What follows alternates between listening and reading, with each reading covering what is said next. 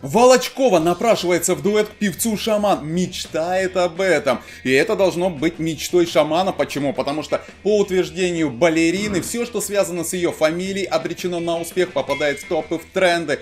Поэтому Шаман как бы по ее логике должен об этом всерьез задуматься. Друзья, давайте-ка обсудим, а на ваш взгляд, возможен такой дуэт или нет?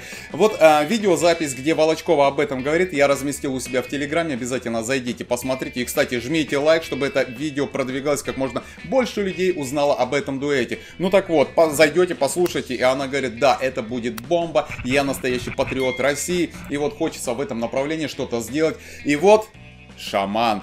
То есть, смотрите, Джигурда сбежал, Шаляпин, я так понимаю, тоже на очереди, ведь очень часто мужчины меняются, да, в окружении Волочковой. И вот на очереди шаман. Я так и представляю их вдвоем вот в этой купели, вот в этой бочке, в окружении мужиков с вот этими вениками березовыми, все как любит Волочкова, еще охапка роз.